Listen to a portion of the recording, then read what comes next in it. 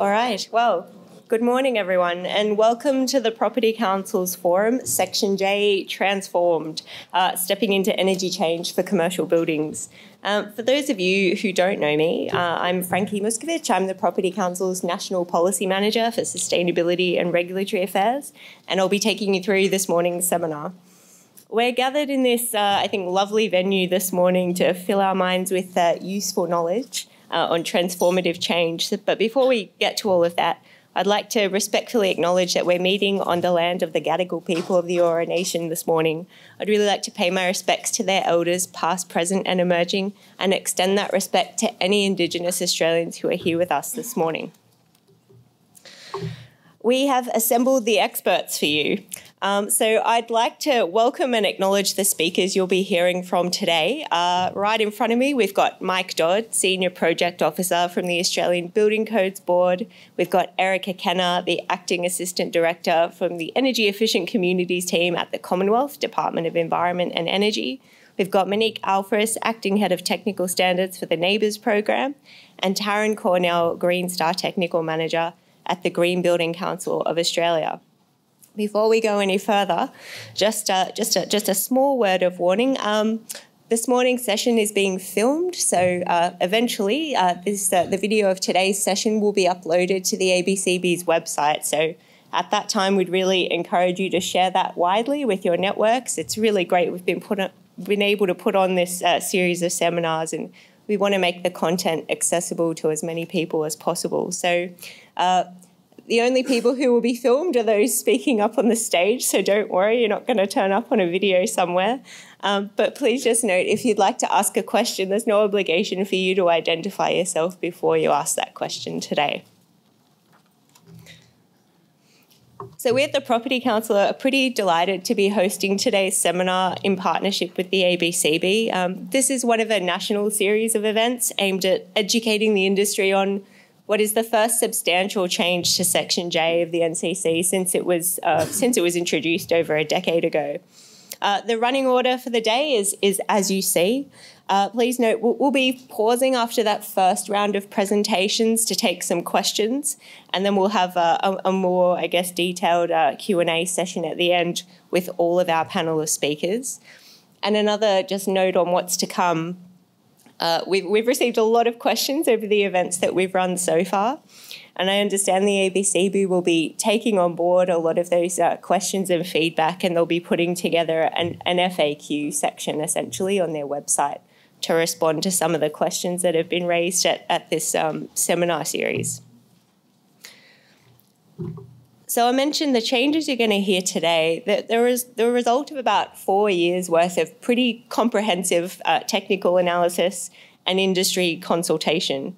Uh, the policy drivers for this work are taken from the Commonwealth Government's uh, target of a 40% increase to energy productivity uh, by 2030.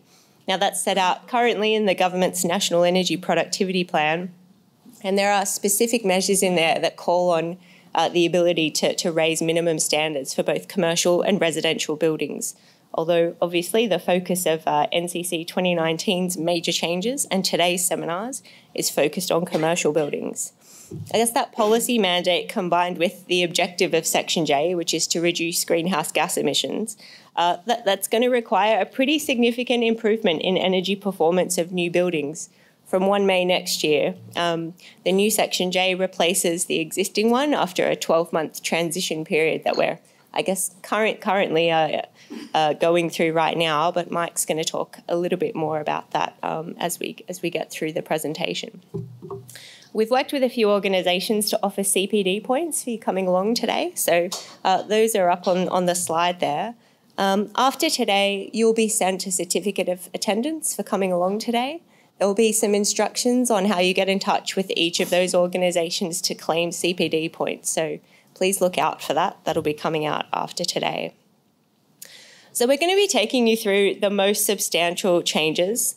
It's fair to say there's more of a focus on building facade changes, um, but we want to get a sense of who's in the room so that we can, I guess, address uh, you know any questions up front that you might have. So I just want to do a, a quick poll of the audience to see who we've got here today. Um, could you raise your hand if you are an architect or designer? Lots of those, great. Uh, ESD consultants, even more of those. Um, any mechanical or services engineers? A few of those. Um, uh, building certifiers or surveyors? Not so many of you guys. Uh, builders? Ooh, okay. Now I know who to shame for the rest of the session. Um, alrighty that'll help us uh, as we go through. Um, just lastly, a really brief plug for the Property Council's, uh, I think, much anticipated update to our guide to office building quality. Uh, this is going to be released at the end of the month. Um, note that the, the delay in releasing this was so that we could ensure that uh, changes to Section J in the NCC were uh, adequate adequately recognised in our guide to office building quality. So you'll note that um, the parameters that reference energy performance are now consistent with the new um, with the new Section J of the NCC. Uh, and, and, on matters of housekeeping, um, bathrooms are, are, just outside, and in the event of uh, any emergency, we'll be following the lovely staff from establishment who will escort us out of the building. Uh, and with that, look, that's enough from me. I'm, I'm going to uh, hand you over to our first speakers. Um, the only thing to say is we're not pausing for a formal break, so uh, I'm going to be encouraging you to get up and stretch your legs or grab a coffee or a drink. We've got two and a half hours of hardcore Section J to go through this morning. Um, it's, a, it's a lot for early in the morning, so please feel free to get up and, and stretch and grab something to eat um, when you need. So, without further ado, our first presenters this morning are Mike Dodd and Erica Kenna. Uh, for the past two and a bit years, Mike Dodd's been managing the project that led to the Section J update. Uh, prior to joining the ABCB, Mike spent about 15 years uh, in various roles with government Victorian uh, Victorian government bodies focused on sustainability programs in commercial and public buildings. And Erica Kenna works on energy productivity policy and Commonwealth uh, building energy efficiency with, uh, with the Commonwealth Government. She's worked in commercial building energy efficiency for almost 20 years and was also part of the technical team that developed the 2019 updates to Section J. So please welcome, uh, please welcome Mike Dodd.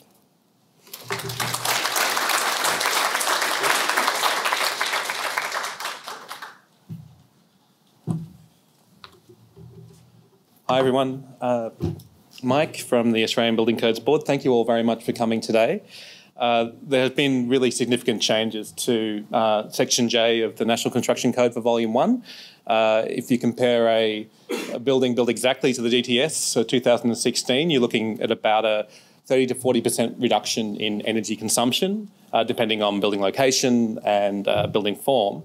but I think coupled with that stringency increase and greater energy efficiency, we uh, the way that we're asking for uh, compliance to be demonstrated, the way that we're doing calculations, there's been some really significant changes there that we're asking of you now. Uh, so, and that's the bit I think is probably most significant, um, and sort of where a lot of the detail will be going through today. Um, so, the first half of this morning's presentation uh, will be myself and Erica. I'm just going to talk briefly about uh, the structure of the National Construction Code, uh, it being a performance-based code, uh, and the changes we've made to the performance requirement for energy efficiency. Uh, then I'll be handing over to Erica to deep dive into the deemed to satisfy provisions for uh, building facades, especially, but we'll also look at the changes for, for services. And then there'll be a chance for, to ask questions. Really, a lot of the questions we've been getting have been around the, the changes to the DTS. And then after the break, we'll, uh, short break, uh, we'll talk a bit more about the new verification methods of NABERS, Green Star, the changes to uh, the use of JV3, and also uh, JV4, the introduction of a blower door test as a voluntary compliance mechanism for building sealing. Okay, so I said I'm from the Australian Building Codes Board. I just wanted to say a couple of things about the ABCB, uh, which may be of interest, uh, may understand where we're coming from, especially um, in terms of engaging with us if you choose to do so in the future. Um, so our main function is to write the National Construction Code and to do education materials and resource materials around it. Uh, we don't set building industry policy. We're a policy taker, not a policy maker. So we get a direction from something like the National Energy Productivity Plan or from the Building Ministers Forum. They ask us to investigate energy efficiency in commercial buildings because there's some evidence there, for example, that uh, it uh, can increase energy productivity or reduce greenhouse gas emissions, then we take that and we run with it. So, but we don't um, set buildings policy. Uh, secondly, we're a COAG body, a Council of Australian Governments body, so we have as much to do day to day with the various state and territory governments as we do with the Commonwealth. Uh, and it also means that when we make changes to the National Construction Code, it's in consultation with all the state and territory bodies, uh, which may be why some changes take a long time to get through, but it also means that uh, there's a, a, rigorous approach around how um, changes are made, and it means that changes can be uh, uh locally uh, specialised. Uh, and finally, we are not the regulator. So while we write the National Construction Code, we are not responsible for saying in a specific case whether a building is or not compliant or which version of the National Construction Code you should be using to seek certification under. That's the, the, roles of your, of your various um, uh, state and territory authorities and, and in consultation with your building certifiers. So just wanted to make that point, especially if the issues of compliance come up, which they often do in these type of conversations. I obviously have an opinion about compliance, but just, you know, um, ABCB is not the regulator in that case. Okay, so the National Construction Code, uh, it's a performance-based code. Um, uh, it sets the, the minimum acceptable standards for health, amenity, sustainability, structure, safety of Australia's buildings. Um, it's been a performance-based code now for 20, 21 years. Um, I'll go a bit more into to what that means. Uh, when we talk when we talk about a performance-based code, what we're really talking about is that in each section of the code there are a number of high-level performance requirements. So in uh, section J, uh, that's JP1 and JP3 currently. JP1 I'll go into a bit more detail in a sec, but essentially it's a high-level statement which says your building as a whole should be energy efficient. When we're talking about compliance solutions, we're talking about a pathway that shows equivalence with the performance requirements. So that may be through the deemed to satisfy provision, so you follow the cookbook approach and say, I'm meeting all of these individual items, and, and that will show that my building meets the performance requirement, it's deemed to be equivalent. Or I might use a performance solution, and uh, some of those are, are codified uh, within the NCC. Things like uh, uh JV3, uh, um, we introduced NABERS and, and Green Star now going forward. Um, but hybrid solutions um, within the code are also possible. So if you're following JV3, for example, you're also going to be asked to and need to show compliance with some of the DTS aspects as well. Um, so when we're talking about a performance solution, it's not necessarily at the whole building level. It's another point I, I think it's important to make. You can develop a performance solution just to show equivalence with one aspect of the DTS, and then use DTS as your overall compliance pathway. But essentially, all what we're really doing is showing compliance with that overall performance requirement. The DTS or JV3 or JV1 are not mandatory legal requirements. The performance requirement is the mandatory legal requirement. That's what we're showing And within energy efficiency. What we're talking about is a building in, on the whole that is energy efficient. Okay. So Frankie, I'll come back to performance requirements in just a sec, but uh, as Frankie mentioned, we have a transition period in place for the changes we've made to the code. So just to try and uh, explain that as I, best I can, from the 1st of May this year until the 30th of April next year, you can choose to use either the NCC 2016 energy efficiency provisions or the 2019 energy efficiency provisions. But you have to choose one or the other. Uh, from 1st of May next year, NCC 2019 will be the code that you'll be following. But we have a transition period in place, uh, given the extensive nature to, extensive changes to the energy efficiency requirements. Uh, industry asked and, and, we were happy to, to uh, provide a one-year transition period to give you time to get your head around the new provisions, more time for us to develop uh, resources for you to, to, to, draw upon when you're, you're showing, uh, when you're designing your buildings, uh, and, and, essentially it's more time to, to get uh, systems in place. So just to remember, you can use 2016 or 2019, but you can't mix and match. You have to pick a lane, and when you see the extent of changes we've made, uh, it'll become clearer as to why. Okay. Okay, so I want to jump back to the performance requirement now um, before I finish up and hand over to Erica. So there have been changes to the performance requirement within NCC 2016. So, and just a reminder when we're talking about when we're talking about uh, volume uh, one, section J, we're talking about commercial buildings, uh, class two to nine buildings, uh, including um, apartments, but the, the changes we're making are essentially only to the common areas of apartment buildings. The, the NatHERS requirement for uh, the occupancy units is pretty much unchanged. Okay, so the performance requirement currently within NCC 2016, there are two performance requirements. JP1, which is a uh, essentially a series of qualitative statements saying a building will be energy efficient. I'll go into a bit more detail. And JP3, which addresses the greenhouse intensity of the energy source for heating, essentially uh, asks for a low intensity uh, uh heating source. Uh, it's essentially preferences gas and renewable energy over electricity. Okay, so what's changed for 2019? And so first of all, uh, we no longer have um, the requirement around JP3 for greenhouse intensity of heating sources. Uh, and that's essentially because we've introduced now a, a whole of a building quantified performance requirement, uh, which means that there's no need to have a, a separate one for heating. Okay, so those series of qualitative statements about energy efficiency. So these are the ones that um, you'll see in NCC 2016. Uh, it's essentially they're saying that your building, depending on its, will be energy efficient, energy efficient to the degree necessary when taking into account its location, its use, its form, its function, uh, the internal environment, the, the behaviour of the occupants, and so forth. So, what's changed in 2019? There's two key changes.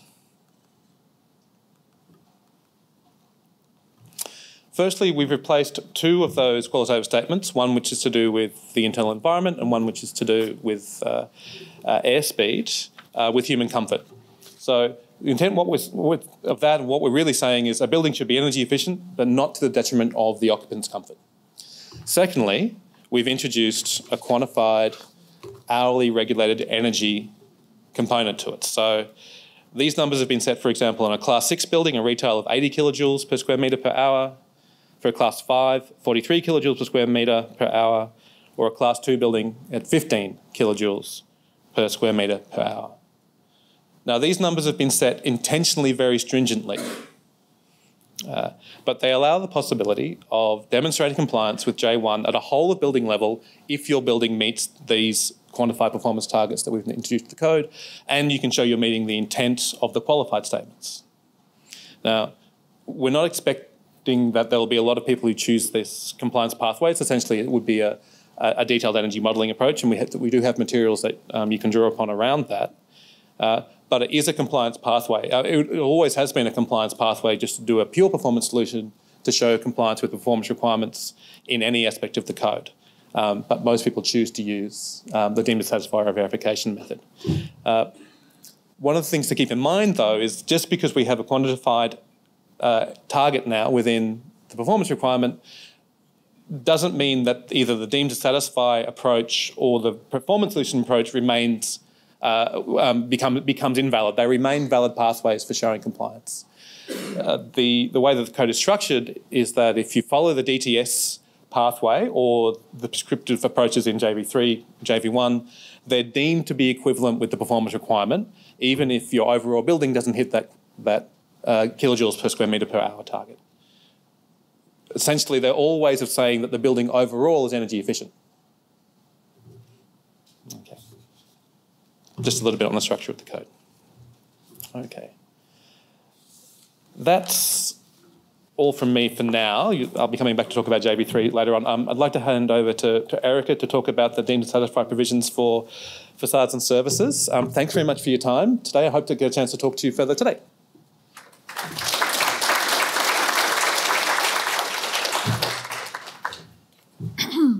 Thank you, Mike, and good morning, everyone. It's great to see so many people here this morning to hear about Section J, and I think we can see that when Sydney siders say they're going to show up, they actually do. So it's a great audience here this morning. So, just a little bit of orientation to start with before I take a deep dive into the deemed to satisfy provisions, especially those around the facade Um, because for those of you who aren't immersed every day in Section J, it can feel a bit like you're maybe drowning in a sea of alphabet soup where everything starts with J. We've got J's, J0s, JPs, JVs, and Js. So, what I'm going to be talking about for the next half hour, as Mike has said, is the deemed to satisfy provisions which is parts J0 to J8 of the code. Those are the cookbook approach to building a bit, to creating a building that just complies with section J. Of course, that does, as Mike has said, also feed into the performance solution because you can use the deemed to satisfy to define the benchmark building for either JV3 or for your Green Star simulation, which we'll hear more about later. So that's the orientation. Now it's time to spend a bit of time looking at the details of what's happening in those deemed to satisfy parts of the code. So starting out with the building fabric provisions, J1 to J3. So actually, I'm going to start out looking at J1, and we've had two big changes and one thing that kind of stays the same. So, the first of the big changes is that whereas previously in NCC 2016, we separately looked at the opaque part of the fabric in section in part J1 and the glazing in part J2, we now combine those together and look at them together in the new part J1 for 2019 that creates some extra flexibility for designers because now if you need to improve something to comply, you can either improve your opaque parts or your windows. Um, you have a choice about how to do that to create an overall design that is compliant. So, improved flexibility is actually going to be one of the themes of my talk today. So, that's the first big thing that's changed. The second big change is that whereas in NCC 2016 you had to look at each aspect individually and make sure that each aspect individually complied, especially this is in regards to part J2 when you were looking at the glazing, you now have the option to look at all of the aspects together. So we, you can still look at each aspect individually, and we call that um, method one. You can still do that, but if you like, you can also, um, or you can alternatively choose to look at all the aspects together. So that um, also creates extra flexibility. It means that you can trade off different facades against each other. So you can have one facade which is maybe slightly underperforming, so long as you have another facade that's slightly overperforming. So that um, should help people to stay within the deemed to satisfy pathway. Um, more often, and possibly means that there might be less use of the JV3 performance solution. The other thing that that should do is that it should allow you to possibly use more consistent products across your different aspects. So you may not end up with a situation that we used to have where buildings had 50 shades of grey or at least two or three shades of grey on the different aspects. So I'll be talking that that applies whether you're looking at at either the U value requirement or the solar admittance requirement. So I'll talk about that more in the next few minutes. So that's the two big things that have changed. The thing that's kind of stayed the same is that we have different levels of stringency depending on how the building's likely to be used, or actually depending on the classification of the building. So, for buildings that are likely to run long hours, we have a higher level of stringency, and that applies both to the U value requirements and to the solar admittance requirements. So, that applies to buildings like hotels, hospital wards, aged care, and so on. We have a tougher level of stringency there because in those buildings that operate really long hours, of course, the energy consumption in that building is more likely to be determined by the, the outside conditions. Um, and then we have a, a, lower level of stringency for, for daytime use buildings. For all types of buildings, though, um, whether it's a classification of building that's likely to run overnight or whether it's a classification of building that's likely to just run during the day, um, you will generally find that is that it's the solar admittance criteria that's the sort of the limiting value or the limiting feature um, when you're following the deemed to satisfy provisions. That'll be the limiting feature rather than the U, the U value characteristic. And that reflects that in Australian buildings, um, practically everywhere in Australia. It's this for commercial buildings. It's the solar gains that are driving your energy consumption in the building. So it's the solar admittance criteria that's going to be the critical one when you're trying to design a building that complies. So I'm going to go through both the, the U value um, criteria and the solar admittance criteria now in the next few minutes. So we'll start out with U values, even though, as I just said, this is actually a bit less important um, here in Australia. But of course, we've still got some some criteria that you, that you that you need to follow if you're using the deemed to satisfy pathway. So just to look at what those are. Um, for most buildings in most climate zones, there's a requirement to achieve a U value of two. So this U value is assessed on an area weighted average based on the thermal conductance through both the glazed and the opaque elements of the facade. So that U of two, it's the combined effect of both your windows and your walls. Um, however, as I have said, we do have some tighter requirements for some building type building classifications, those ones that are likely to be used overnight. So we go down as low as a U of 0.9, which means less less conduction for a building, um, an overnight uh, a building that's likely to operate overnight in climate zone eight. So um, that's the, as I said, the overall value. So combining both the glazing and the opaque walls. We do also have a minimum requirement for your opaque wall elements, and this is a minimum R value. We call this our backstop R. So, just for the benefit of people here who haven't come from a technical background, the R value is kind of the opposite of U value. The R value looks at how much resistance the building is put up, putting up to the heat flow through um, the facade, whereas the U value is looking at how much heat is conducted through the facade. So the R value is the inverse of the U value, and a higher R value is better, whereas a lower U value is better.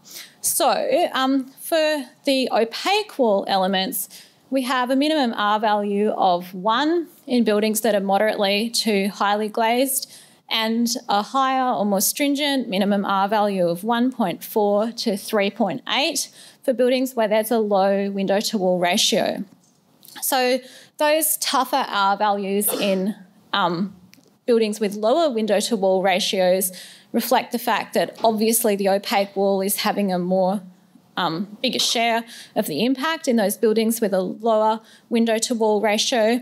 And it also reflects the fact that it is actually easier to build a better insulated um, type of opaque wall construction in a building with a really low window to wall ratio, in particular where you don't have spandrels. And so I guess when you look at these um, minimum wall R value backstops, your first thought might be, and my first thought was, well, they don't look really hard at all. Like for a lot of climate zones under NCC 2016, we had a wool R requirement of 2.8, whereas here we've got a requirement of one for lots of buildings in lots of climate zones. So that kind of looks easy. But as I said, um, can be hard to achieve, especially if you have spandrels. It can be uh, hard to get to an R value of one without having a thermal break. And the the big thing that has changed is that we are now saying explicitly in NCC 2019 that you must cal- um, calculate the effect of thermal bridging when you're calculating the R value. So that's why these values that look a little bit easy actually aren't, because we're now saying you have to account for thermal bridging, and that can make a really big difference when. Yes, okay, so Mike's just pointing out to me. Um, it was actually a requirement in NCC 2016 to calculate thermal bridging as well. However, that requirement wasn't stated explicitly in the code. Um, now it is stated explicitly in the code, and because it previously wasn't explicit, it was frequently overlooked and it frequently wasn't done. Whereas now, because we've been explicit about it, you have to do it. And we've actually created some tools to help you with that, which I'm going to be talking about more later. So, just because not everybody here is familiar with thermal bridging, because as I just said, it hasn't always been done, even though it probably should have, I'm just going to briefly outline the concept for you.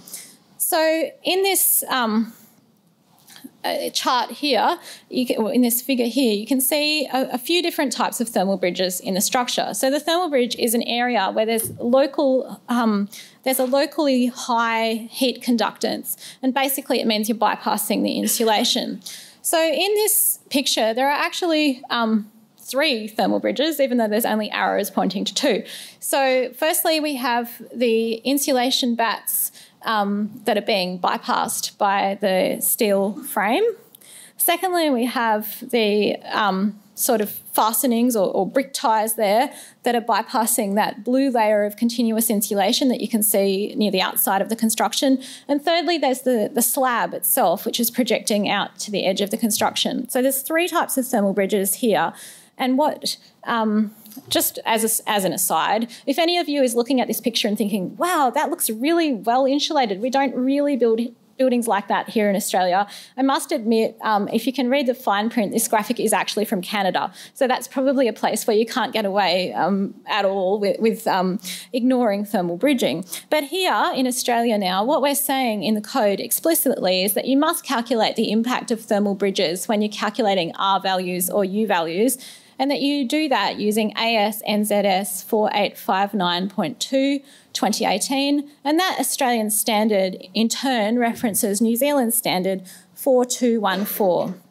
And what it tells you to, how to do is how to calculate the impact of the thermal bridges due to the, the frame elements that um, might be bridging the insulation. And the way that it does that is that it basically takes the bridged layers in the structure. So in this structure, that would be the bulk insulation, which is bridged, and any adjacent air gap. And it says that in those bridged layers, there's sort of two alternative heat paths. One is through the insulation, and the other one is the bridge itself. Um, so the method considers both the thermal resistance of those heat paths, which is what's shown in this picture, and it also considers the relative area of those two different heat paths. Um, and in this example, you can see the impact of the thermal bridging. Um, if you just add up the R values of each layer in that construction sequentially, you get to an R value of 2.58. Um, whereas if you take into account the bridging of the insulation, you get to an R value of 1.0. So that's, you can see, 60% derating. So it, it really matters. So that's basically everything that I've got to say about calculating U values and R values for the moment, but we will um, as I said, we've created a tool to help you, which is a calculator, and I'll come back to that in a few minutes. But before I do that. Um, I'm going to talk to you about the um, the solar admittance criteria. And as I said earlier, for most um, buildings, this is going to be the most the, the item which is really going to drive your design or limit your design.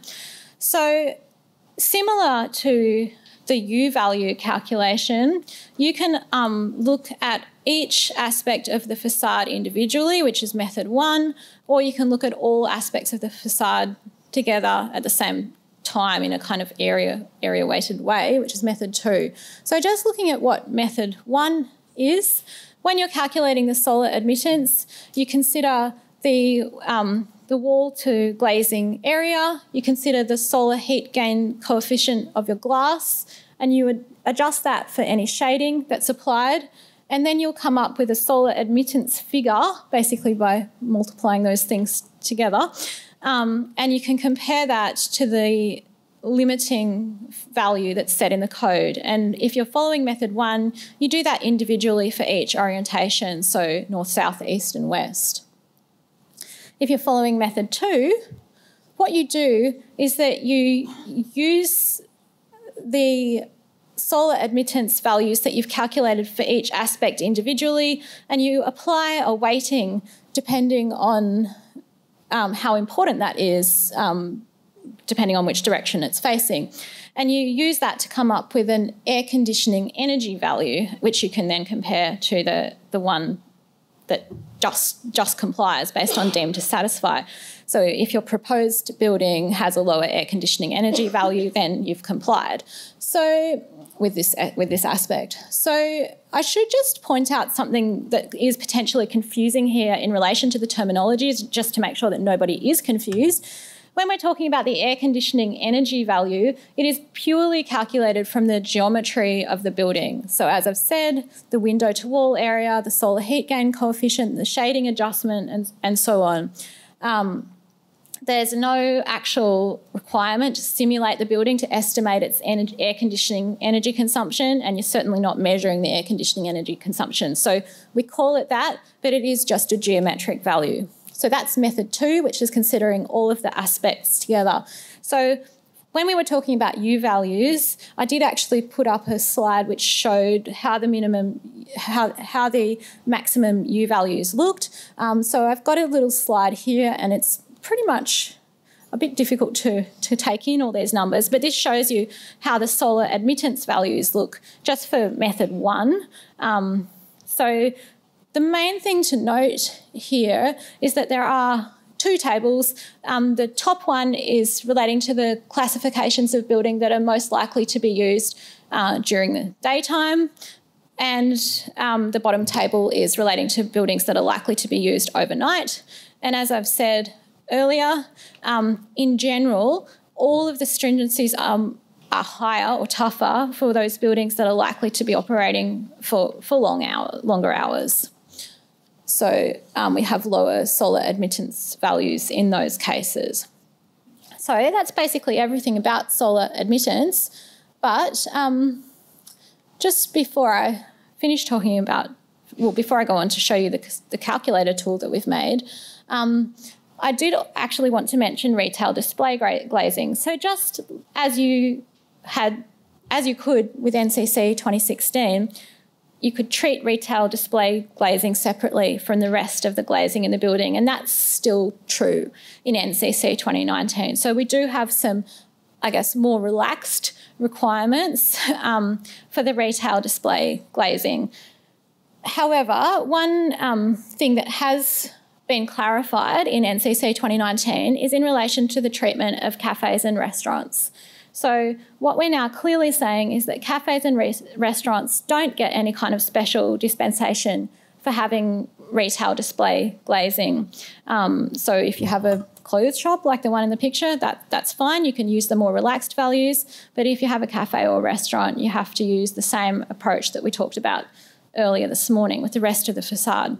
So, actually, it can be a little bit difficult to know whether a tenancy is going to be um, a cafe or a restaurant or some other kind of retail.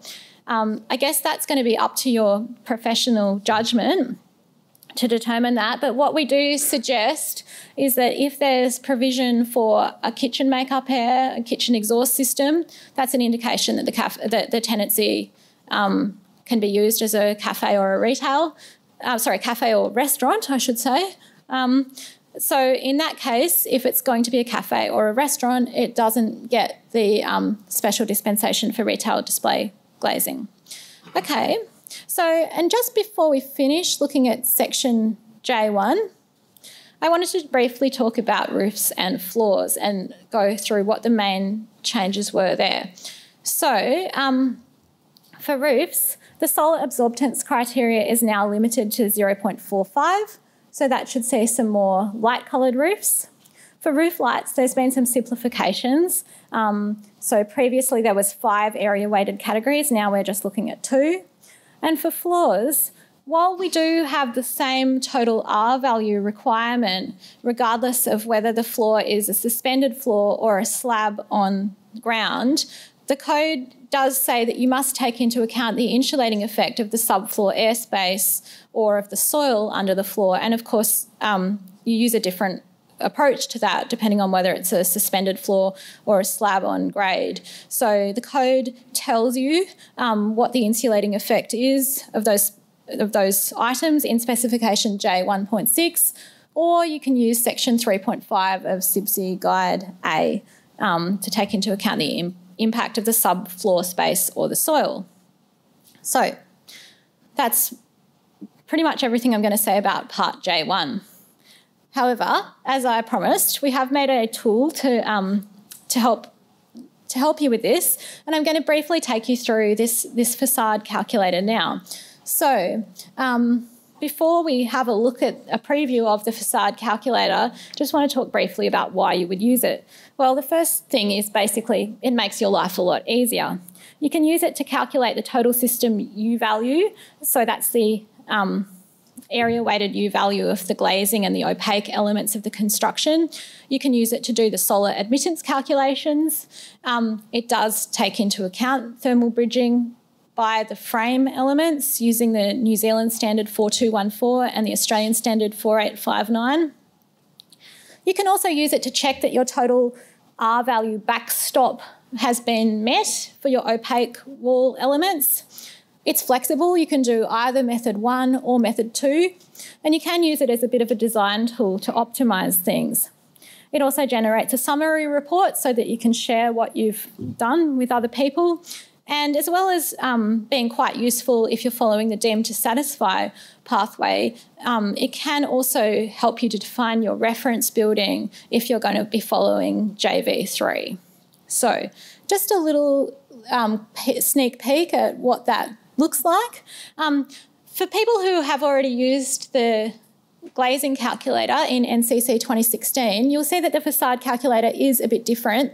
There are actually about five screens or five tabs in the Excel spreadsheet now where you have to enter the data for your building. So as opposed to the glazing calculator, I think everything was entered in the one tab. Um, so that does seem a bit more complicated, but actually this calculator is doing more for you than what the glazing calculator was in NCC 2016. And to make um, life a little bit easier, we do have a library, um, so you can use that library to store constructions that you've defined, and you can um, use that for other projects so that you don't have to re-enter the same data every time. There's also some defaults in that library, so default um, glazing, default windows, default constructions, um, and that is a good place to get started if you're just playing around. So just a little example of how the facade calculator looks. Um, and we'll see in the example the way thermal bridging is calculated. We'll see that opaque wall backstop, and we'll have a look at both method one and method two. And this example is going to be published by the ABCB at the same time that the facade calculator is released. So um, the details are all in that um, published um, case study.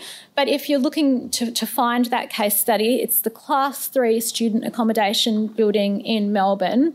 And this, as I said, will be released at the same time that the facade calculator is released, and that is going to be um, very soon, basically. It hasn't been released yet, but it, it will be soon. So, um, just looking at how, how the process works. So as I've said, there's a number of screens. The first one enters general information about the building, including the building classification and the climate zone, because the building classification and the climate zone are important in determining the stringencies. So you enter them here. Once you've done that, you enter some information about the glazing systems. So you have to enter the type of window, that is the mechanism, glass type, and frame type. Um, it's interesting to note that. Um, you have to enter both the system total U value and solar heat gain coefficient for the window, as well as the glass U value and, and solar heat gain coefficient. So both of those items get entered. And probably a big, big thing to note here is that when you're entering the window um, total system U value and solar heat gain coefficient, it's actually asking for the methodology by which that was calculated. So it's not like the previous glazing calculator where you can just pull a number out of the air, though I'm sure you should not have been doing that. But um, you, you do have to identify the methodology here. So there's a bit more uh, accountability around that because that is shown in the report um, that the tool generates. So the methodology is um, based on a drop down list. You can either enter the AFRC true module size um, for the window that's been specified, or you can enter the, the WERS label um, based on default um, module size. So it's important um, if you're using this to support a compliance process that what you're entering does reflect the actual module size of the windows that have been specified. So that's the glazing. Once you've entered the glazing, there's um, a chance to enter information on walls, and we've got this nifty builder wall tool where you can enter each layer um, sequentially. Um, it does ask whether the frame is made out of, well, you can, you can either enter a timber frame or a metal frame, and then the, the calculator will take into account the thermal bridging um, based on some basic information about that frame. Once you've done that, um, the, the, calculator will cal calculate the opaque wall system R value. You can see in this example that that, that is 2.85, which is above the backstop, so that's good. We can, we can proceed. We haven't fallen at the first hurdle this time, so let's go on.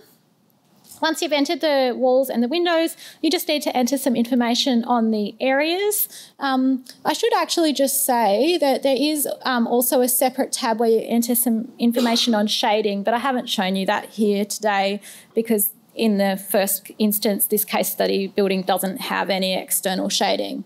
So we enter some very um, simple information on the, the areas of the, the walls and the windows. And then we've got everything that we need to calculate the results. So as I said, the calculator does that using both method one and method two. In this first instance, actually we didn't quite get there in method one or method two. So you can see that we've gone over our U value limits in every aspect. We've gone over our um, solar admittance limits in every aspect.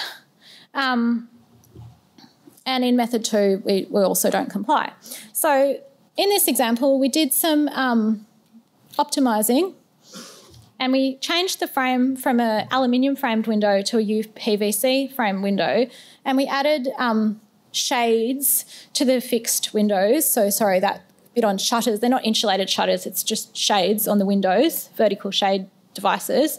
Um, and by making those changes, we, we did see um, that all of a sudden our building um, now complies with Part J1 um, using well, the, ca- the, calculators indicating that the, the, the facade elements are likely to comply with Part J1 here. So um, you can see, though, interestingly, that we haven't complied using method one because our south facade is still not quite good enough. We're still going over the solar admittance limit on the south facade. Um, however, we have complied on method two, and that's okay because you don't need to be both method one and method two. You only need to be okay on one or the other. So we've gone a bit worse on the south facade, but because our other aspects are going a bit better, we're okay with method two. We got there. So that's. Um, that's the case study. And the only other thing to highlight is that, as I said, you can use the calculator even if you're following JV3 to define your reference building. So your reference building is basically your building that has the same geometry as your proposed building, but only just complies with the DTS.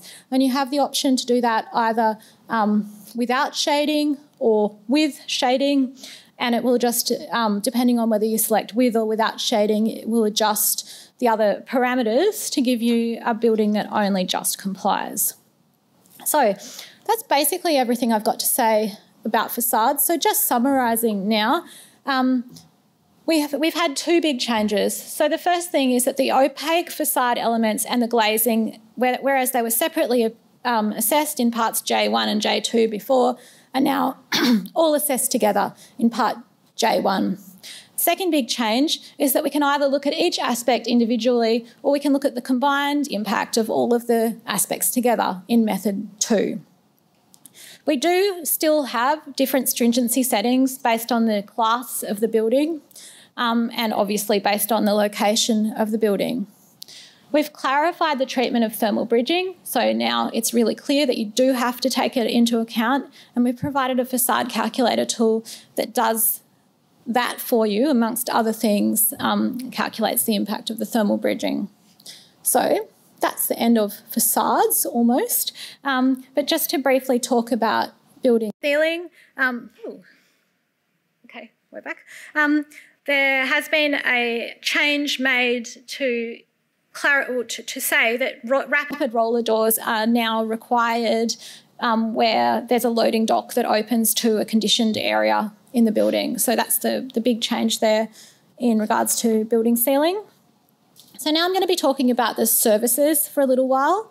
And um, I've got a pretty high level presentation of what's happening with the services, but I just wanted to highlight that for those of you who are um, services engineers, there is some more detailed um, material that's going to be presented very shortly. So the Illuminating Engineering Society are running a seminar here in Sydney tomorrow night. So if anyone's interested in lighting design in particular and the um, way that the changes in Section J are impacting there, come along to the seminar tomorrow night. You can um, sign up for that through the IES website. And for those of you who are on the mechanical side, AIRAH will be running a Section J seminar in Sydney on the 12th of June, and you can sign up to that through the AIRAH website. So, just to give you an overview though of what the main changes are, and I'll start out with mechanical. So, in part J5, um, generally there's been a lot of stringency increases, um, and that is actually reflecting the fact that there's been a lot of technological change over the last 10 years and that the market's moved on. Um, so, really, the code is catching up to where the market's at. So, for boilers, um, the stringency has now been set such that it, it aligns with um, the specification of condensing boilers um, in all ap applications. So that's the, the big change there. Um, for chillers, chillers and pack units, the stringency has also been increased there. Um, it now aligns with MEPS. So whereas previously what was specified in the M- in NCC was worse than where MEPS at, and it was basically giving a kind of a free kick to people who were using the JV3 method. Um, so that's been tightened up considerably. For heat rejection systems, um, we've changed the way that we're, specifying the efficiency as well as changing the efficiency criteria themselves. So, whereas previously the efficiency was um, specified in terms of the fan um, kilowatts per litre per second. It's now specified in terms of the um, fan, sorry, fan watts per litres per second, I should say. It's now specified in terms of the fan watts per kilowatt of heat that's rejected. So that's a more sensible way of doing it. Um, Similarly, for economy cycles, we're now, we're now specifying whether or not you need an economy cycle um, based on the airflow um, through through the system rather than on the refrigeration capacity of that air conditioning system. And for outside air, there's um, actually been some some changes there, so that in most um, buildings in most climate zones, you'll actually need to have either a modulation arrangement so that if you're outside so that if your building's not occupied to its design level you can turn down the outside air volume or there'll need to be a heat recovery system in place. So those are um, that's the high level on part J5.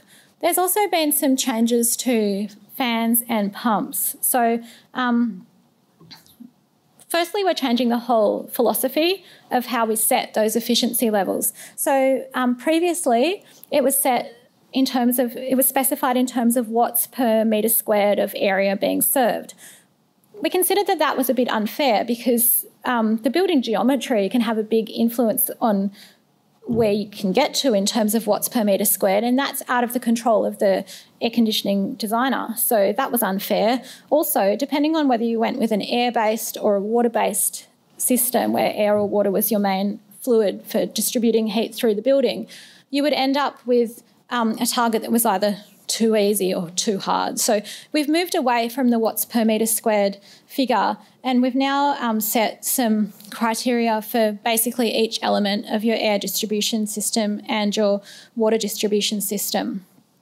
So, for example, with fans, there's an efficiency requirement based on the um, system pressure and the fan motor size. Um, there's um, efficiency, there's a pressure drop requirement um, that's been specified for each element of your, distribution system.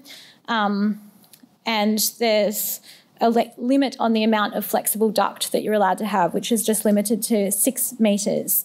Um, Similarly, for pumps or for water distribution systems, there's an efficiency criteria for the pump itself, which is aligning with Europe, European minimum standards.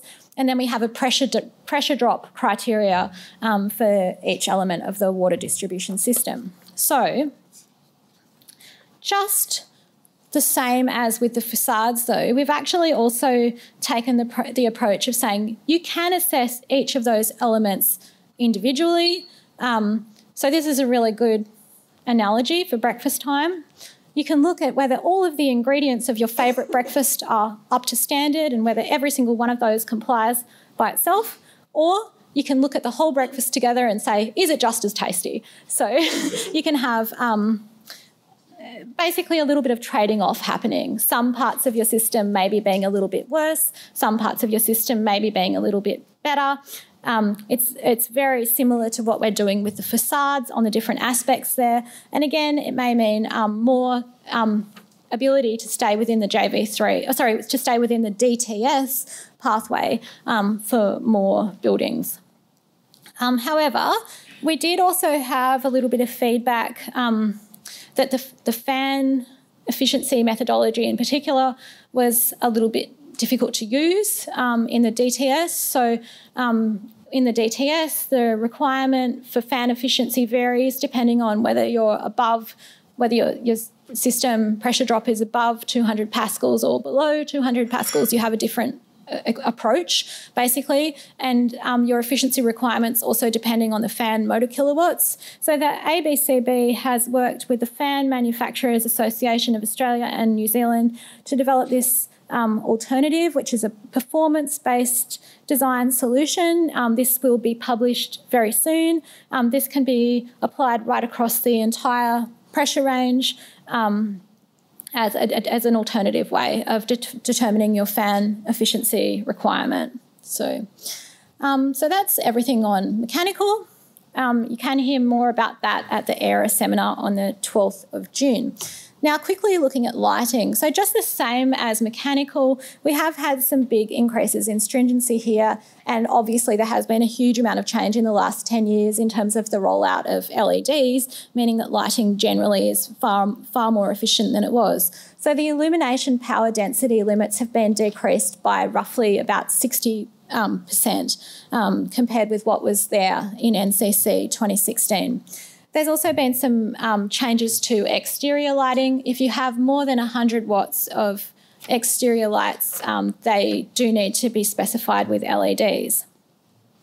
So while those illumination power density limits have um, been um, tightened up a lot, um, we do still allow some adjustments um, to those based on different elements of the design that are, that are probably outside of the designer's control. So basically, um, depending on your room aspect ratio, the geometry of your room can make it harder to achieve a really low wattage lighting system. So if you have some really difficult geometry that you're dealing with, the code accommodates that, and there is still a process in the code where you can adjust your illumination power density limit based on the room geometry using the room aspect ratio. We also have an adjustment based on whether any control devices are installed. So, whether you have an occupancy sensor or a daylight dimming system or a lumen depreciation dimming, dimming system, all of those things can mean that your lighting system runs more efficiently than if they weren't there. And the code reflects that by giving you um, a control device adjustment, which then applies as an adjustment to your illumination power density target. Um, so the other thing that we now um, also recognise is that depending on the colour rendering index that you're trying to achieve or the colour temperature, that does also affect um, the power use of your lights. So if you're trying to achieve a very high colour rendering index or a warm white type of light, um, that does incur some extra energy use, um, but it does provide a, a particular service that you might need. So we've recognised that in the code by also allowing adjustment factors for those items. So that's everything about lighting. But in J6, we now also have some new things that we weren't covering before. So we were not covering lifts um, or moving walkways. And we've got some new provisions there that are really just about um, coming up to where business as usual is sitting. So, for example, the um, lift car lighting and ventilation must shut down now when the lift is unused. And we have a standby energy limit based on the lift load capacity in kilos. And we have a energy efficiency criteria based on how much the lift is likely to be used, and that's aligning with international standards. As I said, it should really be business as usual. And similarly, for escalators and moving walkways, they should slow down um, when nobody's using them. And just quickly, for pools and spas, um, Generally, the changes here in Part J7 have been to align with Part J5. So your pool water heater um, thermal efficiency if it's if it's a gas boiler. Now it should also be a condensing boiler, just the same as part as, as is specified for air conditioning system boilers in Part J5. Um, the pipework insulation for a pool or spa also um, must meet the same requirements that are specified in Part J5. Um, and there's a requirement now for pool covers to have a minimum R value. Um, so that's that is also a new item. And the other thing that we've done is that we've removed the restriction that we previously had where solar heaters for pools were not allowed to be electric boosted. So that's that's been removed and it's um, similar to what Mike said earlier when we got rid of JP3. It's not as simple as gas is good, electricity is bad anymore. So that that's why that requirement's been removed. And finally, for part J8, um, there's a requirement now for time of use metering data to feed back to the central mon- monitoring system. Um, this will hopefully allow building managers to check that their building is actually performing at the level intended and to, and to track the energy use of the building. So, just wrapping up um, for services, the fans, pumps, boilers, chillers, and lighting stringency levels have all been increased quite significantly. But this is really reflecting where the market's gone in the last 10 years um, and aligning now with, with where the market's at. Um, we have changed the way that fan and pump system systems are assessed in Part J5 quite significantly. Um, but we're now we've now got flexibility so that you can either look at each aspect of the system individually, or you can choose to look at all aspects of a system together to see whether you've met um, your overall efficient whether you've met your efficiency requirements. So allow, allowing some trading off there within within a system. Um, we have improved the lighting target, uh, sorry, we've improved the lighting stringency levels, but we still allow you to adjust for that based on your room geometry, based on your control devices, and um, based on the service quality you're achieving in terms of the colour rendering index and the colour temperature. And now, for the first time ever, the code is regulating lifts and moving walkways. So that's actually the end of my presentation. We're, we're going the whole way through here. I hope you're feeling energized and refreshed and not too overwhelmed um, at this point. This is where we are. So we've uh, we've just heard all there is to know about DTS. We're now moving on to hear a bit more about the verification methods that are available in NCC 2019. So we're going to first hear from Monique Alfris from NABERS. Uh, on the NABERS method, JV1, and then Taryn Cornell from the GBCA on uh, Green Star Method JV2. And then Mike will make another encore appearance at the end, and he's going to talk us through changes to JV3 and the introduction of a new um, post construction verification method for building sealing, JV4. So I'd just like to introduce to you, I guess, our next speakers. Um, Monique is the acting head of technical standards at NABERS. Uh, she's probably well known to most of you. Um, Monique has worked on delivering the NABERS co-assess um, rating tool, a new application process for office buildings. She's also worked on the expansion of NABERS for shopping centres tools. Um, to centres smaller than 15,000 square metres, and she's also worked on the NABERS for apartment buildings tool.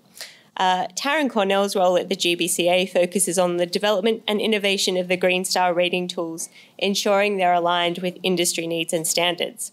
Having worked for over a decade in interior and architectural design, Taryn has a detailed knowledge and considered approach to design, project delivery, and stakeholder engagement. Please join me in first welcoming Monique, then Taryn.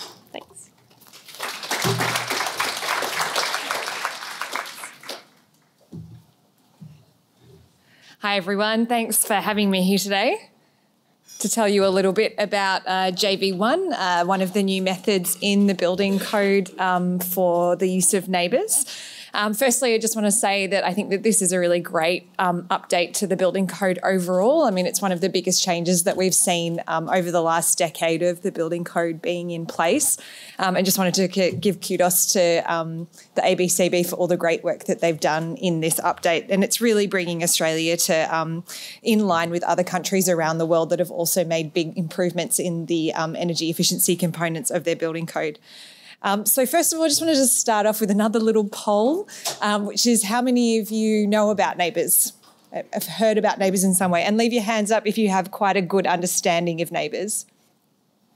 Okay, so a few of you left in the room.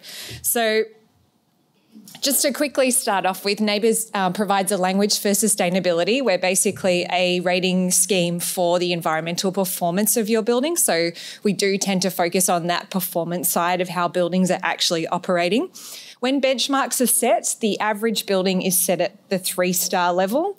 Uh, the six star level is the market leading end of the scale, and that usually equates to about a 75 to 80% reduction in energy consumption compared to the average building. Our one star building is down at the other end of the scale. There's a lot of opportunity for improvement with buildings down this end of the scale, and they are using um, 75 to 80% more energy than the average building. We do provide zero star ratings as well. As Paul Bannister often says to me, we have zero stars because there's no limit to how bad buildings can be. Um, so we have that that that sort of different se- series of the scale. Um, what we've actually seen in Australia is that we, um, which I'm going to go into in a moment, is that whilst um, three stars was the average when the benchmarks were set, it is no longer the average um, for um, buildings in the office sector. Uh, Sectors currently covered by NABERS are quite a few. Um, as Frankie mentioned, I worked on the apartment buildings and shopping centres expansion, but we do also have rating tools for data centres, public hospitals, and hotels. I mention all of these because um, later this year we are going to be expanding our commitment agreements program into other sectors that we cover as well. So there is the opportunity for the um, the NABERS method to be used um, in the building code for other building sectors, not just offices. But for the moment, it is just the offices sector.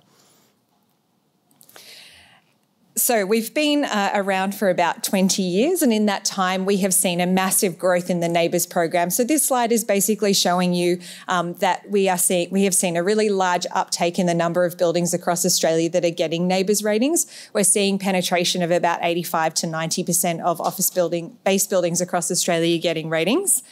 And for buildings that have participated in our program um, over 10 years, we have seen the average building um, reduce their energy intensity by about 40%, which is a pretty incredible result. It's actually the fastest rate of reduction that we've seen globally for any sector. So, and this isn't just the best buildings, it's not the worst buildings, it's the average building that's participating in the NABERS scheme. The reason that I'm telling you this is because what it, this relates to what I was saying about the average building. We have really seen buildings push up into that 5.5 star and six star rated categories in the last few years. Um, this graph is showing you the number of ratings that we're seeing in both of those categories. And particularly, we're seeing this push into the six star, which is the, those purple bars, in the last two or three years. And what the industry is telling us is that it is possible to achieve those ratings today um, with cost effective technology. And really, um, the, the way that these buildings are being delivered now is about making sure that they are being constructed well and then that they're being operated well, not by using fancy technologies that may seem like technologies of the future, which I think makes the, uh, the benchmark that the ABCB has set at 5.5 stars quite a reasonable one in terms of what we're hearing and where we're seeing ratings pushing to. Okay, so now while why we're all here, um, Oh, sorry. And just on that as well, there were a few questions in some of the other forums about whether these are ratings with green power. These are actually ratings without green power. So these are the ratings that are purely based on the energy efficiency operation of the buildings, just to make that clear. So, yes, why we're all here, um, which is the JV1 NABERS method, which actually uses a product that we have in the NABERS program called commitment agreements, which I'm going to go into in a little bit more detail. Commitment agreements is a product that takes buildings all the way from design through to operation. Uh, it actually ties the performance of your design, uh, sorry, your design to the um, operation of your building through a contractual agreement um, with uh, the Office of Environment and Heritage, which is where the NABERS program sits the very first thing that you need to do if you want to enter into a NABERS commitment agreement is actually to model your building as you are expecting it to operate. And the reason that we ask you to model it in that way is because we do tie you to a performance requirement at the end of this process. So if you think that your building is going to be operating for much longer hours than a normal building would operate, we ask you to design to model your building in that way because it's probably going to change the way that you design your central plant, for example example. So if you have a normal building that operates nine to five, you may design in a particular way. But if you know that you're going to have an anchor tenant that's going to be running um, in that building for much longer periods, they're going to be there seven to seven, or they're going to be there overnight for some reason because they've got international trading floors, you should model that building as you are expecting it to operate. And that is whether you go for a commitment agreement with or without the building code um, in play. The second thing that you would do is sign a, a, contractual commitment agreement with the Office of Environment and Heritage. So, again, a question that came up in some of the other forums was who was it that actually signs that commitment agreement? It's not the design team, um, it's not the architect, it's actually the owner of the building that needs to sign that agreement. Um, so, there was some concern about whether um, commitments could be made on behalf of the owner by someone else. It can't be, it is actually the owner of the building that signs that commitment agreement with us. And what that commitment agreement is is um, that you uh, commit to targeting a, a, particular rating, and that also that you uh, go that you do after a 12 month to 24 month period actually undertake getting that certified rating as well. The next thing that you need to do after you've signed your commitment agreement contract is undertake an indep- independent um, design review. So we have a panel of experts um, that we have appointed in a number of different sectors. So we have quite a few experts now um, in the office sector. And what they do is they come in and they peer review the design and the modelling. Uh, it's basically a fresh set of eyes just to see if there's anything that you may have missed or if there were things that potentially weren't considered. Uh, again, in some of the other forums, uh, people were asking if uh, you have to take the recommendations of the independent design reviewer on board.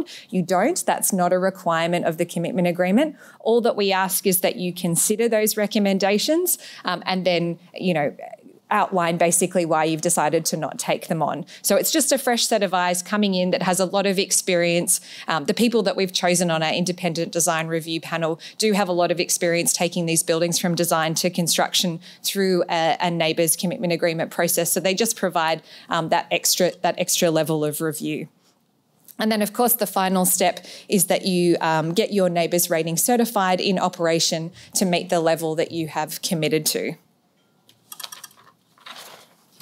So, how does it work uh, when we apply it to the building code? So, the first step is that you need to sign a commitment agreement with the Office of Environment and Heritage, committing to a 5.5 star level.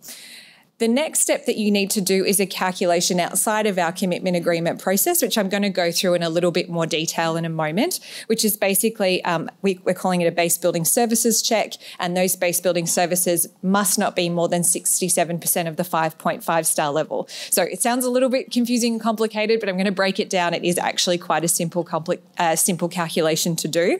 You then need to do a thermal comfort check. I'm not going to go through that in too much detail because Mike's going to explain that part of this process a little bit later. And the same with the additional requirements. There are a few additional requirements that you need to undertake as well if you're going through the NABERS method, and Mike's going to explain those in more detail. So, the first step is that you need to sign a 5.5 star NABERS energy commitment agreement. That's something that you get in touch with us um, with, and we provide you with the contract, and then you sign it. Quite a, a simple process. Um, the second thing that you need to do after you've signed your 5.5 star NABERS Energy Commitment Agreement, you would have already undertaken your modelling to make sure that um, you meet your requirement. Um, but what you need to do is basically figure out what the maximum allowance is of energy consumption that you can use and make sure that you're going to be below it. So the 5.5 star rating is actually a band. It goes from um, just hitting five stars. Obviously, if you get all the way through the band and you're at the other end, you're going to get a six star rating. What this number tells you is that if you're using slightly more than this, you're actually going to get a five star rating. So, this is the maximum allowable amount for your 5.5 star rating, and that's the number that you want to try and determine. Um, when you're doing your NABERS energy commitment agreement, very few uh, buildings will actually design to this maximum allowable amount. And that's because you're committing to a performance in operation. And there's all sorts of things that can happen between when you build your initial model all the way through to 12 to 24 months after operation. So usually design teams allow anywhere between 5 and 25% on this maximum allowable allowance. That depends on the risk appetite of the design team, how many many commitment agreement processes you've been through before, how confident you are of what tenants you're going to have, um, whether you're sort of quite close to the construction stage. There are many factors, and we don't specify what your margin needs to be, but we do say, you know, you need to consider what your margin should be and what risks you think are going to occur throughout that process and, you know, what your sort of risk appetite is. Um, but anyway, you have this maximum allowable allowance that tells you if you go above that, you're not no longer going to be achieving your 5.5 star rating. The next step that you need to do is take that initial figure and then do a base building services check. So you need to make sure that your base building energy uses for particular services is no more than 67% of your 5.5 star figure. So you have this maximum allowable uh, allowance, and that covers many items um, for your base building energy rating. So things like your air conditioning, heating, ventilation, common area lighting, lifts, car parks, um, external lighting. So for all the all of those people that know and love NABERS, you will be well versed with this list. For the um, the uh, check that you need to do in the NCC, you actually remove some of these items because they are going to be checked again elsewhere. So for this particular check, you need to get rid of car park energy, external lighting energy, and any energy associated with tenant supplementary systems. And for the rest of the items, those are the ones that can be no more than 67% of the maximum allowance. So, again, just to reiterate, it's not that those other items aren't being checked, they're actually being checked elsewhere. So, I'm going to go through that in a minute. For this particular check, you're only looking at these particular items, or sorry, all of the items that are not car parks, external lighting, and tenant supplementary systems that would normally be covered under a NABERS based building energy rating. And you want to make sure that they're no more than 67% of your maximum, allow- maximum allowance allowance. So in this particular example, and these are just made up numbers for, um, as you can see, 123 Example Street in Sydney. In this particular example, you would want those particular services to use no more than 40 kilowatt hours per metre squared, and then you know that you're meeting your requirement under the NCC. So, not too complicated a calculation that you need to do on top of your energy model, which you already would have done the calculations for, and you would have already separated out all of these particular items in your model anyway. Um, the next step, like I said, which I'm not going to go into too much detail because Mike's going to talk about it, is that you need to do a thermal comfort check. Um, we think that this is a really great addition to the NCC and it's really great um, to have this added to the commitment agreement process. Uh, we think that it adds um, really like a, a great check to make sure that buildings aren't being run at 14 degrees in winter to achieve um, the 5.5 star rating. You won't be able to do this with, when you do the thermal comfort check as well. The last step um, is that you need to uh, meet the general requirements, and there are a few additional specific JV1 requirements, which are those items that we removed previously. So the car park, um, the tenant lighting, and the supplementary systems are going to be done um, through this separate check, which not Mike's going to talk about. Essentially, what it's saying is make sure that these meet DTS requirements, is what this is saying. So I, Taryn's going to go through this in more detail in a moment, from what I understand. But just like Mike was saying, we're not the certifiers. Um, we're just a body that uh, provides, you know, a, you a pathway to be able to get certification. Um, so this in, this slide basically takes you through the kinds of things that your certifier is likely to want to be able to see when you're planning to use this method. So the very first thing that you would give them is evidence that you actually have undertaken um, this commitment agreement process. So what you would do is probably just copy a few relevant pages out of your commitment agreement contract and include them within your report to the building certifier. Then you would pull out um, this section showing that you have met the base building services check. So you'd probably provide them with your commitment agreement energy report and then with an extra set of calculations just showing them that you've done this check as well and it might already be included within your report. Then a section showing them how you've met your thermal comfort requirements and then finally a section addressing those additional requirements basically showing that those additional services are meeting the DTS requirements. And yeah, that's the end. I just wanted to reiterate that we are going to be launching um, the commitment agreement product in a number of other sectors, um, hotels, shopping centres, and data centres later this year. So there will be the opportunity um, in the future to be able to use this method for other um, sectors of buildings. But for the moment, it is for um, office buildings that you can use this method for. Thanks very much. Obviously, I'm also not Carlos. Oh yes, I'm introducing Taryn from uh, the Green Building Council. Sorry. That's me. Hi everyone, good morning. Uh, thanks all for being here this morning. It's great to see you're all still with us. Um, we are on the home stretch now though, so uh, bear with us and we will get through it and get you on to the rest of your day. Um, but I also wanted to reiterate, we're really excited at the Green Building Council to be here. Um, as uh, a pathway for demonstrating compliance in Section J. Um, so, really, a, a, huge thanks to the ABCB and also to the PCA for having us here today. So, I'm going to do a poll as well. Uh, who's familiar with the Green Building Council? Most of you, that's great. And what about Green Star? Excellent. Um, well, just a brief introduction for those of you who aren't familiar.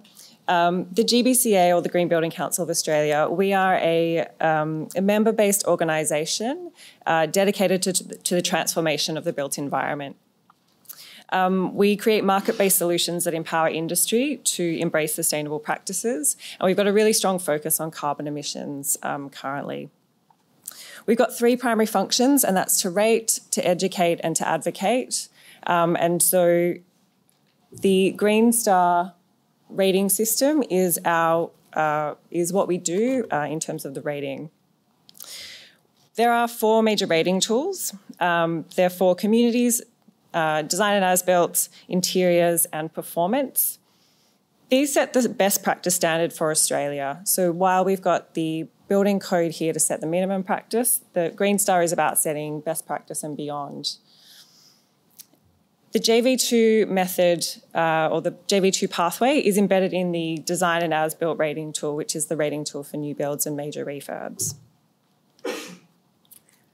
So, design and as built is a holistic rating tool. Uh, so, in contrast to NABERS, it's not a sector specific rating tool um, or a, a sort of a carbon specific rating tool. It is about demonstrating holistic uh, sustainability measures across a number of different categories. So we've got the nine different categories up here. The energy uh, category is where you'll find the way to demonstrate your JV2 um, through greenhouse gas emissions reduction. And so we're just, I guess the point here is that greenhouse gas emissions reduction is just one part of the rating tool. In order to uh, pursue JV2, you'd need to select the reference building pathway. It works in a really similar way to JV3, which is to have a NCC uh, compliant building or a, essentially just a reference building, which is based on largely on uh, DTS. You then compare that to your proposed building but we've got a couple of extra steps in Green Star, and that is to uh, first create what's called a benchmark building. And so that benchmark building is a 10% reduction on your greenhouse gas emissions of your NCC or your reference building, your NCC compliant building. You then need to demonstrate that you sit somewhere on a scale between that benchmark building uh, on, a, on a scale of a 0 to 100% improvement. So if you're pursuing JV2, what you need to do is be a minimum of 10% and beyond. Now, it's worth noting here that obviously if you're pursuing Green Star, if you sit at that 10% improvement point, you're not going to score any points in this category, and it's quite a it's quite a heavily weighted category in terms of points. So the ambition for projects pursuing Green Star is to sit much further than that 10%. Um, they they typically sit somewhere between say a 40 and a 60% improvement above that 10% uh, benchmark building. We also have in Green Star an intermediate uh, building, and that's a, that's a separate model that we create, which uh, looks specifically at the improvement on your facade against the DTS facade provisions. It doesn't specifically relate to JV2, uh, you'll see that in a moment, but it's just an extra step that we have in Green Star as a, a way to accumulate points. So put really simply, um, the JV2 method is a way for you to demonstrate compliance with JP1 using the Green Star Design and as-built modelling protocol.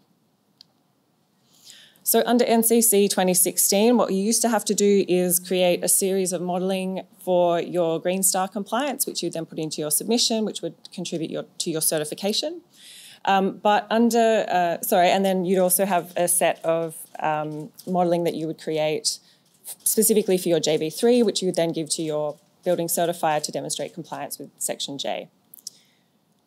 Under the NCC 2019, however, you're able to use that same set of modelling protocol in, from Green Star and apply that to your uh, Section J certification. So reiterating here, the Green Building Council is not becoming a certifying authority. We will stick to what we know and love, which is Green Star, and we will leave the certification to the building certifiers. It's simply just a way to simplify the amount of documentation that's required and also um, uh, streamline the process to certification, both for Green Star and for Section J. So to pursue JV2, uh, you would need to register your project for Green Star, uh, then you would create your performance solution. Um, when you register for Green Star, that is usually done by the asset owner, and as I mentioned earlier, you are committing to pursuing points and, and getting an accreditation or a rating for that whole of building um, model that we have. So those nine categories that I showed before, you're looking to accumulate points across all of that. Um, but in terms of JV2, you're just demonstrating that you've committed to that. Then you would create your performance solution. You then also go on to produce your energy model and the reporting that comes out of that energy model. And that's when the process splits. So you would provide that information out of that energy modelling report to your certifier. You would also put that into the calculator in Green Star, and that's how you um, achieve points in your Green Star model. The JV2 performance solution itself is essentially demonstrating that you've got the greenhouse gas emissions reduction being more than 10%, so sitting somewhere above that benchmark building. You then also have to demonstrate that you've got your thermal comfort uh, check, which is your having a PMV of uh, between minus one to plus one for 95% of the time, 90%, sorry, 95% of the area, 98% of the time. Mike will talk to that a little bit further. Uh, and then you also need to demonstrate that it uh, meets the additional requirements under JVA and JVB. The modelling process itself you would use the Green Star method, uh, the reference methodology, to create your reference building. You then obviously calculate the greenhouse gas emissions for the proposed building with its proposed services. And then you demonstrate that that proposed building is uh, at least 10% better, so sitting at that benchmark or beyond. Um, just back on that, sorry, that greenhouse gas consumption uh, and, sorry, the energy consumption greenhouse gas emissions guide, we refer to that as the calculator guide. It is available for download on our website currently. Um, a lot of you who are used to the, the Green Star methodology are probably quite familiar with it. It is going to be updated soon um, in response to Section J, so stay tuned for those updates. The documentation required for JV2 uh, as we mentioned, you've got that one single energy modelling report that you'll rely on. You need to demonstrate that you've met the Green Star Design and As-Built submission guidelines and the uh, information that's in the calculator guide. Um, the Design and As-Built submission guidelines is basically just saying that you're using the correct pathway. So are you pursuing the uh, reference building pathway? Confusingly, we also recognise NABERS commitment agreements in Green Star. So if you're using JV1, you can get recognised for that in Green Star. But if you want to pursue JV2 because you're doing energy modelling uh, specifically related to Green Star, that's the pathway that you'll use. So hopefully that's not confusing you all too much. You need to also demonstrate that your report content meets the calculator guide requirements. Um, you would need to have a copy of the Green Star registration email, so basically demonstrating to your certifier that you have registered and committed to that Green Star commitment uh, certification. And also you would need to comply with those additional DTS requirements. The energy report content itself has the scope of the solution and the approach that you've taken. It's got an overview of the emissions and the thermal comfort modelling that you've taken. There's obviously the comparison uh, between the reference building and the proposed building for your greenhouse gas emissions, and then also a summary of your thermal comfort modelling, which is the PMV. Um, a fact sheet of this will be available, uh, uh, of this whole process will be available through the ABCB. I think it's yet to be published, but Mike will talk maybe a little bit further about the reference materials available to you. Finally, uh, Green Star Design and As Built. So we have a version 1.3 that will be released specifically to respond to the changes that are happening in Section J. So um, it's going to come out in mid-June. It is only for projects that are using NCC 2019 and beyond. Okay, so a few things that have changed. Uh, we have added some additional prescriptive measures to that reference building pathway. They, are, they have nothing to do specifically with JV2. However, um, because we recognise that that reference building under NCC 2016 is uh, substantially more difficult under 2019, um, we are allowing projects to pursue initiative, additional initiatives to gain additional points. Uh, and that's also pointing us in the direction towards the future focus rating tool, which is a, a wholesale upgrade of, of, design and as built and the rating tool system. Uh, so it's, it's indicating the direction that we see the rating tool going. Uh, we've also increased points for use of green power, so we're really trying to encourage projects to pursue the use of green power. Uh, as I mentioned, we've got some minor updates to the calculator guide. Now, those are in relation to the, um, the assessment methods that um, have been outlined in the DTS provisions and a few other things just, just to tighten up in, in respect to how the, the code has changed and the way in which the code has changed. We've also got innovation points for early adoption of NCC uh, 2019. So if you are committing to using uh, the NCC Section J before the end of that transition phase, then we will reward you with innovation points. We've also, we're also looking at a change in improvement for that intermediate building itself. So the intermediate building currently um, has a scale of 0 to 20% improvement, and we're looking at changing that just in respect to the fact that the, the way in which the facade is calculated and the changes to the facade have dramatically increased and improved under Section J 2019. What stays the same? We have uh, the modelling framework and the scale for improvement on the actual reference building. That all stays the same. And also the documentation requirements and the certification process. So I suppose what I'm saying here is that largely that reference building pathway is staying primarily quite similar. Um, we are just teasing around the edges, and that is all happening in response to the great stuff that is happening in Section J. So thank you so much for having me. Um, I'm going to hand back to Mike now.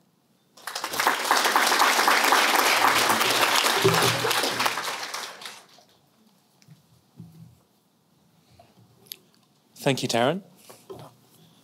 So I'm going to talk briefly. Uh, we're getting towards the end of the, the session now, just on the, the main changes to JV3, verification using a reference building. And I'll also touch briefly on the introduction of a blower door test verification method to show uh, compliance with uh, the building sealing requirements of Section J. I guess the main thing about the changes we've made to JV3 is that the overall structure of creating a reference building based on the deemed to satisfy provisions, the, the cookbook building, and comparing your proposed building to that and showing that it's, it's more efficient uh, remains the same within JV3. So just maybe a quick show of hands, how many of you are using JV3 commonly in your... Uh, that's a fair few people here, so it'd be familiar. So the general structure of how you use JV3 is unchanged. And what's also unchanged is You can use JV3 to show compliance just for your facade elements, as is commonly done uh, at design approval, and then say services will comply with DTS. Or you can use JV3 for both facade and services. So the general structure is the same, but there are a few key points of difference that uh, from 2016 to 2019 that I'll go through now. So the first key point of difference is that the point of comparison has changed to greenhouse gas emissions. So previously it was an, energy comparison between reference and proposed. Now it's a greenhouse uh, comparison. Uh, we've done this, one, because it aligns uh, better with the objective of Section J, which is, if you remember right back to the start, to reduce greenhouse gas emissions. It also allows for better, better reconciliation between on, uh, uh, use of gas and electricity within your building, and it aligns also with uh, NABERS and Green Star. So that's big change number one. Big change number two is the change to how we define the offset you get for the use of renewable energy on site. So when we were undertaking our consultation around Section J, uh, concerns were raised with us around the use of on-site renewable energy generation to offset the performance of your proposed building so that overall it was more uh, efficient than the reference building. Uh, the concern raised was that this was being used to justify poor performing facades within, uh, within construction. Uh, what we've done is change the definition or made it more explicit that you can only get the credit for renewable energy which is generated and used on site as part of your offset. So energy which is exported to the grid can no longer be counted to decrease the, the energy consumption your, of your proposed building. And we think that with a combination of the increase in the uh, DTS services uh, and the, uh, the, increase in the DTS facade mean that the, the risk of a, a, building being able to use purely renewable energy to offset its uh, I guess, uh, facade performance is going to be very, very small. Uh, and the other thing that is um, is guarding against that is the introduction of the, of the comfort requirement, which I'll, I'll, go into in a bit more detail in, a sec. Um, we are interested in keeping an eye on this, though, going forward. recognise that uh, on-site renewable energy is one of the most cost-effective ways of reducing greenhouse gas emissions within a building. So we do want to retain a pathway for its use within buildings, but we want to make sure we're get, getting the balance right. Okay, so the, the comfort requirement. So this is one of the big changes to Section J. It's, it's consistent across J1, J2 and J3. And essentially it's based around the predicted mean vote framework, which is outlined in uh, ASHRAE 55. So essentially there's six factors within uh, the predicted mean vote framework. Four of those are the things that you would be using as part of your energy model, or they're either inputs or outputs of your energy model. And those are things like humidity, uh, radiant temperature, air temperature, and airspeed are all things that are going to be either inputs or outputs of your uh, energy model that you have to do for JV3 or JV1 or JV2. And then you'll set, specify metabolic rate and and, and clothing level. So these are, again, they're outlined in ASHRAE 55 about the choices you make around that, and they should be consistent with the expected use of the building. So if it is a hospital and you've got lots of people running around in scrubs and, and being very, very active, then you set your uh, uh, clothing levels and metabolic rate to be consistent with that. If it's a, an office building where you've got very, very important men in suits or very, very important women in suits, then you would set your clothing level appropriately. There's guidelines within uh, ASHRAE 55 about how you should do that, and you should follow that process.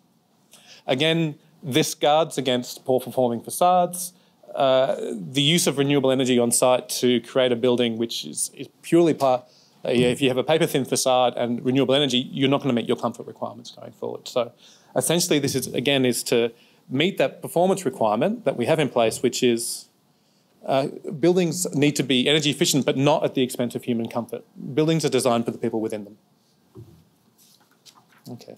Uh, just a bit further on comfort, we recognise that uh, PMV is not the best me measure necessarily if you have a mixed mode or naturally ventilated building, uh, and we're developing a, a performance-based design solution for the use of the adaptive thermal comfort model, uh, again within ASHRAE 55, and would recommend that if you are uh, using JV3 or JV1 or JV2, but your building is mixed mode or naturally ventilated, don't use PMV, use the adaptive thermal comfort model instead. It has a, has a wider, wider range of, uh, uh, well, it suits that type of building uh, much better. Just a note on PMV of plus one or minus one, that roughly equates to 75% of people saying that they're comfortable. So we're saying that 75% of people in the building need to be uh, comfortable most of the time. Okay, so in relation to what's actually changed within how you model a building, so with how you model your reference building, how you model your proposed building, going forward, there are a few things that we have uh, tweaked or tightened up, um, and these are now specified in JVA and JVB. So previously, you, for those of you familiar with JV3, there was uh, a whole lot of detail within JV3 itself about how you do reference modelling, and then uh, specification JV, which was all of your schedules, turning on times, turning off times. There's now three specifications, and with the uh, first one being JVA, which are all of those things which I mentioned earlier in uh, response to the question, which your energy model is assuming is being done in terms of the construction process, which it relies upon for your energy model to be correct. So this is that your insulation is being installed correctly, that you've done your thermal bridging calculations when you're working at how much uh, insulation you're putting in and how uh, and if you need a thermal break or not. It's the lighting control specifications, so your lights are turning off and on at the right sort of time, or your air conditioning or HVAC control specifications, which are detailed in J5.4, uh, I think, or 5.3. Uh, but all of those things that your energy model is assuming that it's going on uh, you now have to separately show compliance under J- JVA that these are actually being done. And we're doing that essentially to try and make energy models better predictors of actual energy use. Now, in terms of terms of JVB, there are a few things that we've tweaked there. The two things that I've highlighted there on the screen are we now have a tighter temperature range of 20 to 24 degrees. It used to be uh, 20 to 26 or 18 to 26. And air changes have been made at, uh, at 0.7 and 0.35 in terms of the assumptions that your energy model makes. Again, we think that that is better reflective of how a building is actually going to be operated and should produce a more accurate energy model going forward. So all, all of the changes we've made there are trying to increase the accuracy of modelling. There's also, just to highlight, uh, the way that you model services going forward with JV3 is a lot more detailed in terms of chiller startup times uh, and so forth. Uh, again, it's to, to really um, increase the accuracy of models. Okay. Just in terms of one final thing on modelling, so we've talked about NABERS and Green Star already. What we've now said explicitly within uh, JV3, and this is something you, you, could have done previously as a performance solution, is that if you want to use the, the NABERS scheduling, uh, the, the NABERS uh, parameters, or the Green Star uh, modelling parameters within your JV3 model, you can. Uh, and this is essentially to, to save documentation, save time, uh, not to have to repeat uh, energy models uh, after you've done your initial JV3. So especially if you're using JV3 for your design approval, but you know you want to get Green Star points down the track or certify uh, uh with Green Star design and as built or undertake a NABERS commitment agreement, you can now use the, the NABERS or Green Star parameters within your JV3 modelling so you don't have to slightly tweak a model down the track going forward. So it's saying that NABERS equals Green Star equals JV3, essentially. Okay, so that's all the changes for JV3 I wanted to highlight.